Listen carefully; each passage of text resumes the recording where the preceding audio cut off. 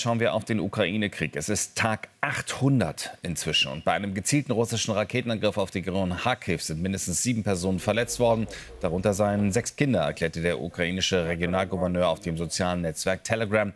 Es seien Lenkwaffen in Privathäuser und die zivile Infrastruktur eingeschlagen. Russland erklärt dagegen wiederholt, es greife keine Zivilisten zumindest nicht gezielt an. Unterdessen sagte der britische Außenminister David Cameron der Ukraine bei einem Besuch in Kiew weitere Militärhilfe in Höhe von umgerechnet 3,5 Milliarden Euro zu. Wenn ihr mehr News aus unserem Team wollt, dann müsst ihr einmal hier klicken. Wenn ihr auf der Suche seid nach spannenden Dokus, starken Reportagen, dann geht's hier entlang. Und wenn ihr Welt abonnieren wollt, neu entdecken wollt, dann einmal hier klicken.